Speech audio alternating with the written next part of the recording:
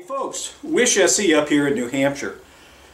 Had several requests from Glock shooters or people who have just purchased a Glock to better understand how to work and manage the trigger. So we're going to spend the next five minutes or so talking about some of the things that will make a difference to you Glock shooters in terms of the way in which that you run the gun. This is universal to all Glocks, and frankly, what I'm going to talk to you about is universal to all handguns, but this is specifically about learning to run the Glock trigger. The trigger press, pressing it straight back, the trigger prep or the reset of the trigger, and only allowing your finger to go off the trigger far enough for the trigger to reset. The nice thing about the Glocks, of course, is there's a tactile and an audio cue to let you know that your finger has come far enough off from the uh, trigger to let it reset. And what I want you to pay attention to is as the gun is fired, as the trigger is pressed, my finger stays on the trigger until I feel and hear that reset. And then I'm pressing the trigger very slowly back until the trigger engages again. So again, this is what it looks like. So I've taken out the slack. I'm at the point where I feel the resistance. I continue to press until the trigger breaks. Once the trigger breaks, once that shot is pressed, then we release it off far enough for the trigger to actually reset and you hear that and you feel it.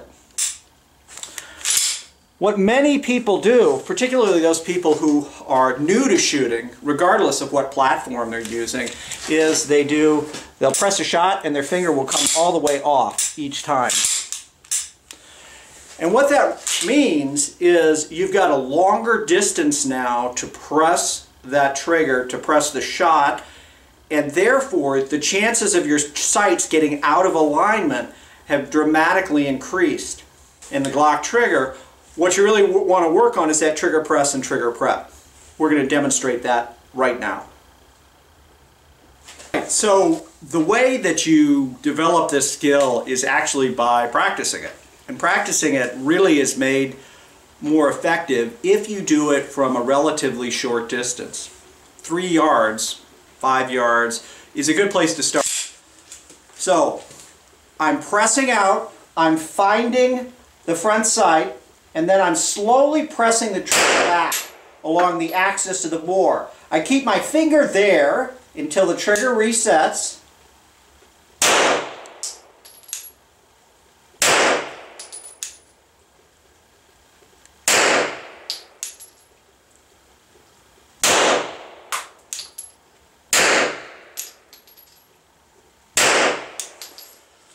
So one flyer out of that group, the rest of them are in a one inch square. It's going to happen.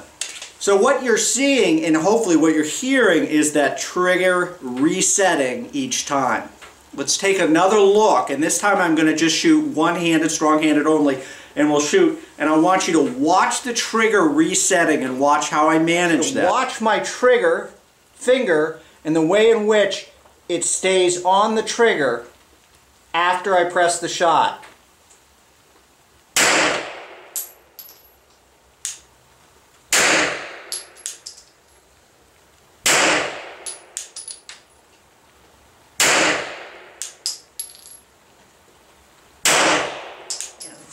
Point is, is showing you that trigger.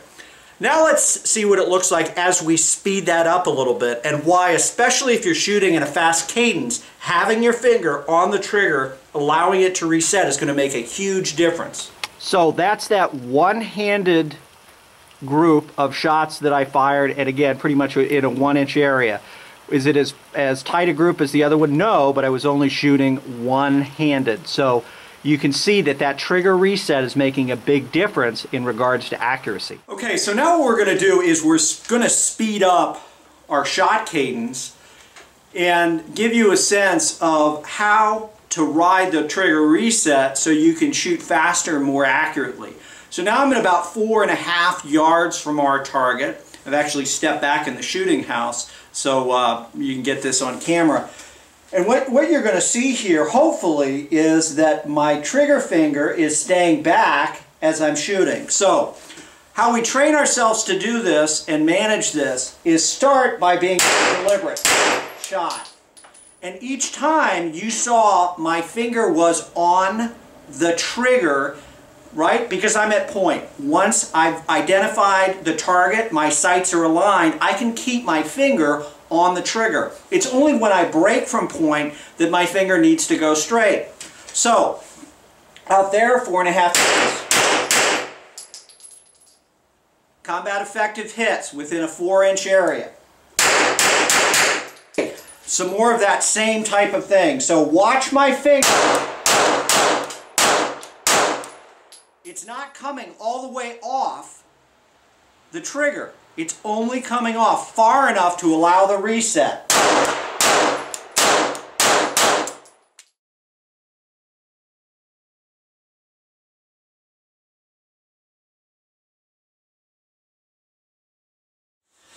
So one drill that I like quite a bit is shooting small targets, large targets, small targets. So in this case, uh, it's going to be a 1-2-1 drill, but you can also do this 2-3-2 or one, two, three. And you'll see this on our target out there. So we have, these are uh, from Todd Green on pistoltraining.com.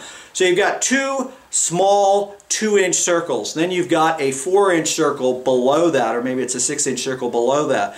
And you're just transitioning between small precision and larger groups. So when you're at that larger target, you can shoot a little faster. But again, trigger prep, trigger reset makes, makes all the difference in your ability to get those hits. So let's try that right now. So I come out, I index, and if I wanted to shoot, you know, large, small, small, fine, whatever. But I'm going to shoot small, large, small. So, small. And again.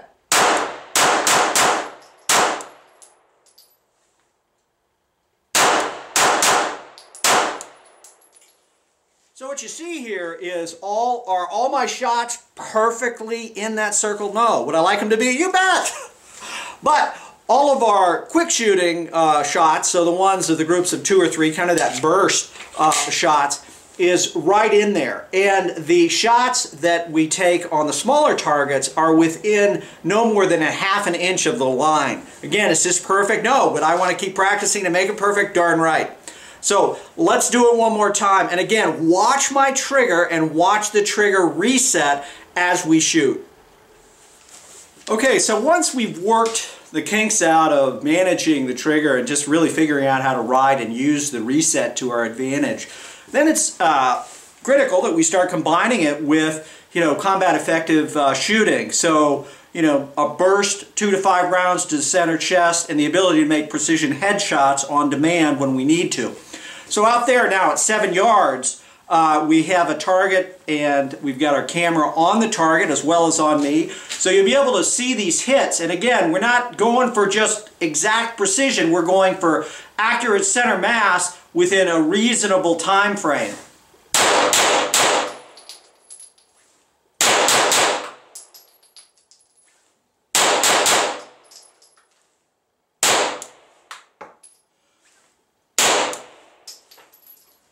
So what you see out there is, you know, we've got uh, them in the general mass, the general upper chest where we're aiming. Our headshots, headshots are in that ocular cranial area. Again, this is what we're working on and this is where that trigger prep and the trigger reset really makes a difference, especially when we're shooting in these bursts and we're going for speed. So once again, let's take a look.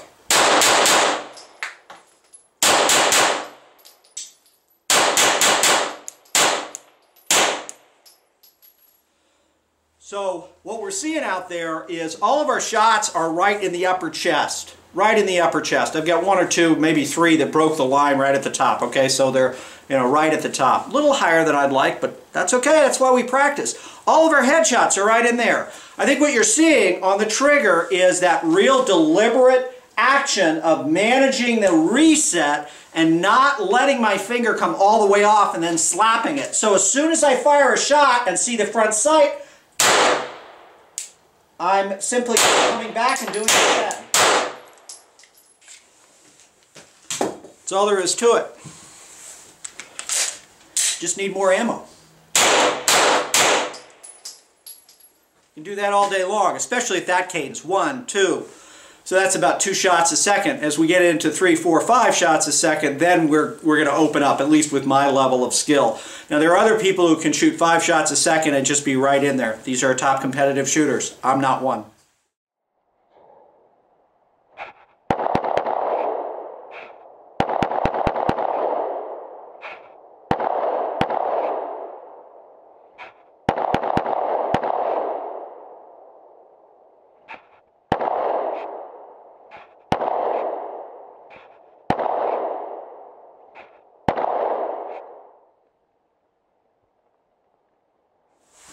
Okay, Glock 26.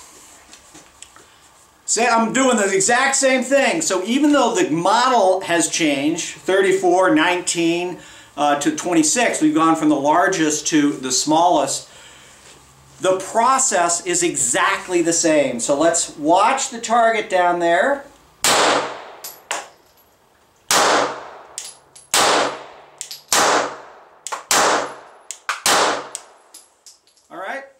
No problem whatsoever. Can I be more precise? Yeah, I can be more precise. Let me dial in. I was shooting, you know, a little faster. So let me dial in and just really focus on the trigger press and the trigger reset.